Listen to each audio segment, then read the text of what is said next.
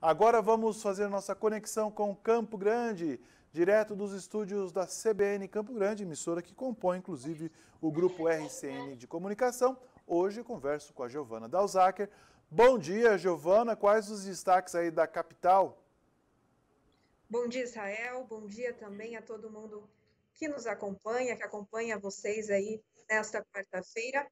Olha, hoje nós estamos aguardando a chegada do presidente da República, Jair Bolsonaro, que vem aqui a Mato Grosso para o lançamento do radar do espaço aéreo brasileiro.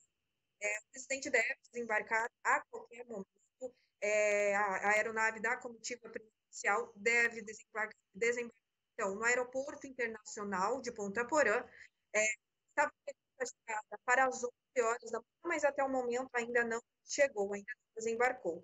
E Bolsonaro, a aeronave da comitiva presidencial, deve deixar Mato Grosso então, por volta das duas e meia da tarde. Já havia é, estado aqui no Mato Grosso do Sul, em Corumbá, em agosto do passado, e havia participado de uma inauguração de um radar igual ao que será lançado agora. O equipamento reforça o controle do tráfego aéreo ao tráfico de drogas na região lá de fronteira, já que potencializa a identificação de aeronaves voando na região de fronteira. Então, aguardamos a chegada do presidente da República.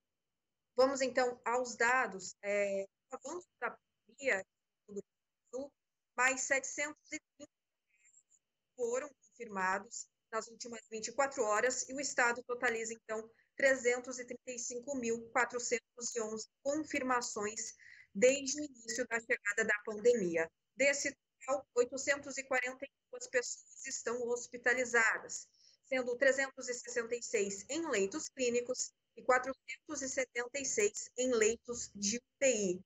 É, infelizmente, mais 51 sul-mato-grossenses foram vítimas da Covid-19 nas últimas 24 horas e o estado totaliza, assim, 8.204 óbitos pela doença. Com relação à taxa de ocupação dos leitos de UTI SUS, a macro-região aqui de Campo Grande tem 93% dos leitos ocupados, Cumbá tem 92%, a macro-região de Três Lagoas tem 89% da taxa de ocupação, Dourados 86%, e o número de recuperados da Covid-19 aqui no estado é 313 mil 398. Essas, então, são as informações aqui da capital. Israel. Obrigado, viu, Giovana Dalzac, pela sua participação, trazendo a informação aí, inclusive do Estado, né, onde aguarda e ansioso aí para essas doses de contra a Covid-19. Uma ótima tarde de trabalho para você e, claro, para toda a equipe da CBN Campo Grande.